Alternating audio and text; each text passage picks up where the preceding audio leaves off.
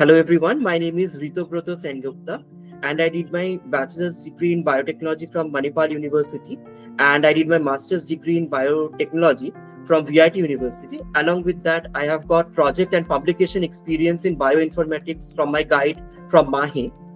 I was really into bioinformatics until one day I got very inspired from Shekhar Suman sir's uh, video on how BioIoT career is evolving in India. And I always wanted to be a part of it. And thankfully, I joined Biotecnika and I was introduced to such good mentors like Mr. Pradut Banerjee, Dr. Nilofar Sheikh, and Dr. Elimethi. And all of them guided us suitably in a very super way possible in a 15 days class on how coding can be implemented in terms of bioinformatics. And followed by that, we were all given a test to attempt where we can challenge ourselves and see how much we actually learn and implement our concept in the test.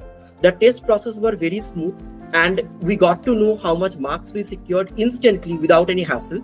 Followed by that, we all were allowed to participate in real life industry oriented projects as promised by Shekhar sir. Thank you so much Biotecnika for all your support.